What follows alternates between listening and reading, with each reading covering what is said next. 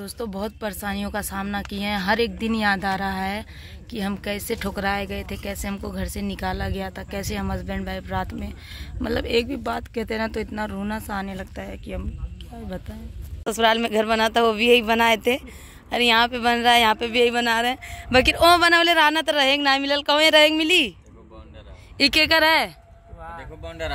अरे अभी अभी देखिए हमारे हस्बैंड आ रहे हैं यहाँ पे जा रहे हैं छड़ काटने।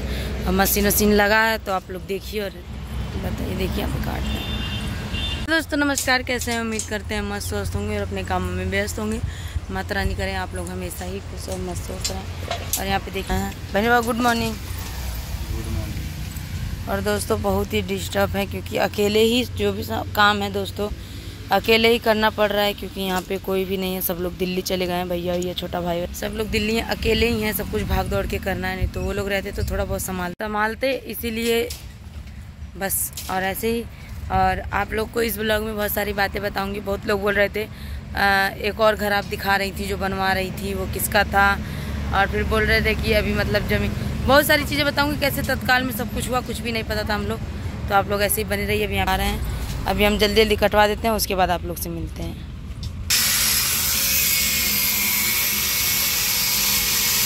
लिए अभी अभी मैं खेत में आई हूँ और यहाँ पे देख सकते हैं काम चल रहा है और यहाँ पे हमारे हस्बैंड बैठे हैं, अब मिस्त्री जी बैठे हैं, बाकी का सारा सामान यहाँ पे है। लोग ऐसे ही बने बने रहे हैं उसमें चलती तो बात करती हूँ। तो दोस्तों, बहुत भयंकर घाम है और दोस्तों, उस बार जो ससुराल में घर बना था, वो भी यही बनाए थे। अरे यहाँ पे बन रहा है यहाँ पे भी यही बना रहे हैं। बाकी ओ बना बोले रहना तो रहेंगे ना मिलल कौन रहेंगे मिली? है एक एकड़ है। अरे ऐसे ही थोड़ा सा हवा चले तो नहीं लगी। तब खुश बाटा हमारा घर बनता। एक जगह बनवाऊ ना दोस्तों एक जगह बनवाऊ ना रही नहीं मिलल। कहो चलिए कोई बात नहीं बाकी का यहाँ पे काम हो रहा है देख सकते हैं आप लोग।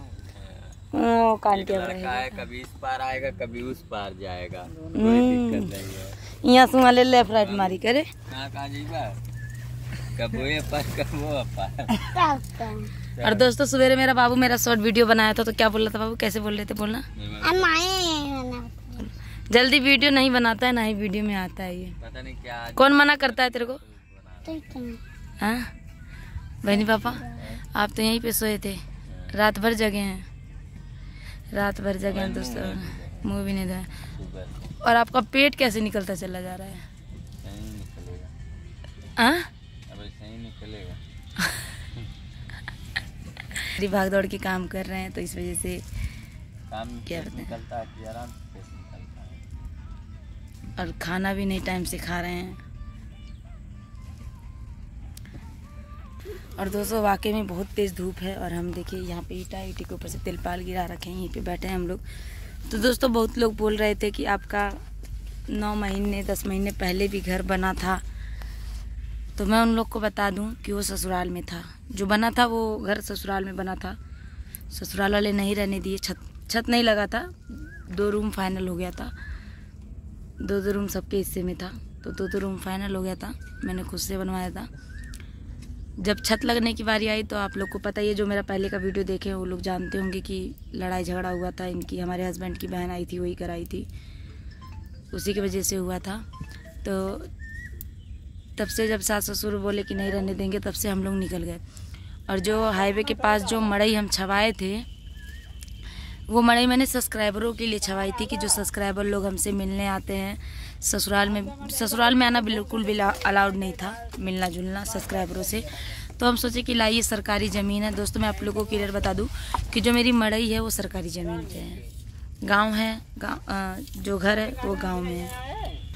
तो दोस्तों, जो मम्मी का घर है, वो गाँव के अंदर है और है गाँव के अंदर है जो मम्मी का घर है। तो मैंने जो सब्सक्राइबर लोग की मड़ई छवाई थी तो फिर जब हम लोग रात में निकले ग्यारह बारह बजे तो हम लोग वहीं पे गए जो हमने सब्सक्राइबर की मड़ी छवाई थी। फिर वहाँ पे गए वहाँ पे जाने के बाद तब मम्मी मम्मी सब गाँव में ही तब रहती थी। तो हम वहाँ पे एक दो दिन बनाए खाए खाना तो फिर उसके बाद हम बोले पापा उपा सब दिल्ली चले गए पापा मम्मी सब हम पापा और बड़े वाले भाई छोटे वाले भाई सब दिल्ली चले गए। सिर्फ़ मम्मी बची थी। हट जा बेटा। सिर्फ़ मम्मी क्या ढूंढ रहा है? सिर्फ़ मम्मी बची थी और मेरी बेटी बची थी। तो मैंने बोला ऐसा है मम्मी हम यहाँ पे अकेले हैं, हम भी चल जाते हैं वीडियो वीडियो बनाने, कहीं सूट पे चले जाते हैं तो अकेले रह जाते हो। आओ इसी मड़ई पे रहना, मड़ई पे देखते भी रहना। मान लो कोई आए, लेके सामान चल जाए। तब मम्मी आके मड़ई पे ही रहने लगी हम लोग के साथ। तो हम लोग कहीं पे भी सूट पे चले जाते थे तो छोड़ के बेफिक्र होकर चले जाते थे। और कोई भी सब्सक्राइबर मिलने आता था तो उसी मड़ई पे ही बुलाते थे, जो हाईवे के किनारे सरकारी ज़मीन पे है। तो दोस्तों, सोचिए, एक समय मेरा ऐसा आ गया था कि मैं सरकारी ज़मीन पे मड़ई डाल की थी। दोस्तों, अगर एक एक बात शेयर करें ना तो बहुत लंबी बातें हो जाएँगी, जो कि मैं नहीं चाहती हूँ कि मैं अपने पुराने इतिहास को दोबारा दोबारा वो करूँ। बस यही सारी बातें हैं। और आप लोग के दुआ आशीर्वाद की वजह से इतना कुछ मैंने कर लिया। तो आप लोग ऐसे ही सपोर्ट करते रहिए, ऐसे ही प्यार दुलार देते रहिए, ताकि हम लोग आगे बढ़ते रहें। और अगर मेरा भी, अब यहाँ पे मैं कह सकती हूँ कि ये मेरा है, ये मेरा खुद का है, यहाँ पे मैं कह सकती हूँ। तो बस यही बात है। वहाँ पे ससुराल में थी, हमेशा कहा जाता था कि ए तो ए तो ए तो तो वहाँ पे वाकई में मेरा कुछ नहीं था। मान लो जो अपने बेटे को नहीं दी तो हमको क्या देंगी? तो बस ये सारी बातें थी। और क्या ही कहें, बस आज वो सारे दिन याद आ रहे हैं। क्या बताएँ कि रात में हम लोग कैसे निकले थे, कैसे क्या किए थे। और बस अभी हम लोग यही चीज़ फाइनल करा लें। नई वही खनवा के बना लें। यही हम सोच रहे हैं कि नई वही खनवा के, नई करवा दें, नई भरवा के, फिर छोड़ देंगे। फिर थोड़ा दिन वीडियो वीडियो बनाएँगे, फिर पैसा आएगा तब बनाएँगे। दोस्तों, एक बैग नहीं बनवा पाएँगे। और बाकी का चलिए।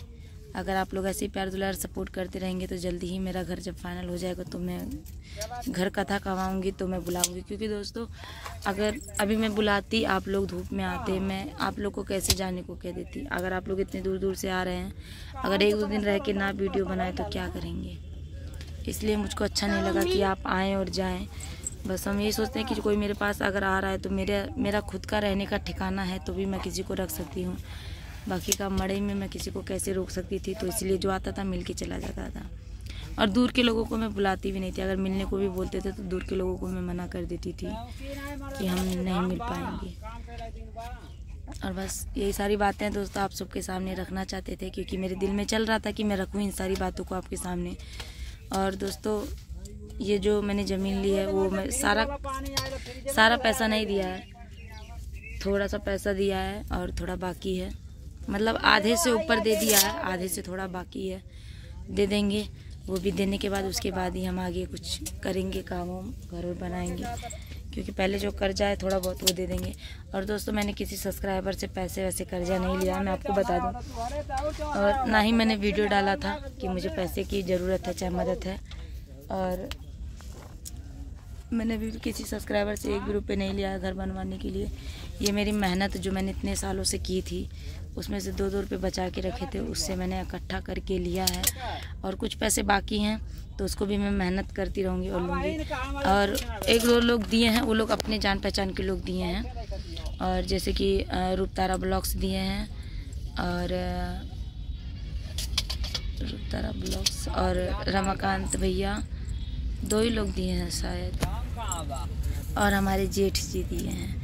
रूपतारा ब्लॉक्स और मतलब ज़्यादा नहीं दिए हैं थोड़ा ही थोड़ा दिए हैं। रूपतार रूपतारा ब्लॉक्स तीस हज़ार दिए हैं, रमाकांत भैया पंद्रह हज़ार दिए हैं और हमारे जेठ जी दिए हैं, वो ज़्यादा दिए हैं।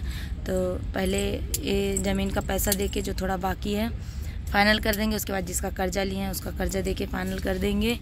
तभी उसके बाद घर बनवाएँगे, क्योंकि दोस्तों टेंशन इतना हो जा रहा है ना कि सर पे कर्जा है, ये है, वो है, लेकिन हिम्मत नहीं आ रही वीडियो बना बना के अपना मेहनत वो करेंगे। और लोग सोचते हैं कि ऐसे वैसे दोस्तों हम किसी के भी मुँह नहीं लगना चाहते हैं, क्योंकि हम खुद जानते हैं कि हम यहाँ तक कैसे आए हैं। अपना सारा दिन याद आता है, और कल तो खुशी के मारे मेरे को इतना रोना आ रहा था कि मैं आप लोग को क्या ही बताऊँ। तो चलिए, वीडियो लंबा हो जा रहा है, फिर अभी दिखाएँगे आप लोग को। अभी तो काम हो रहा है, वहाँ पे ढलैया वलैया जो भी होगा, नहीं वही भराएगा तो आप लोग को दिखाऊँगी शॉर्ट वीडियो के माध्यम से। तब तो तक के लिए इस वीडियो को यहीं पे एंड करती हूँ। नमस्कार बाय बाय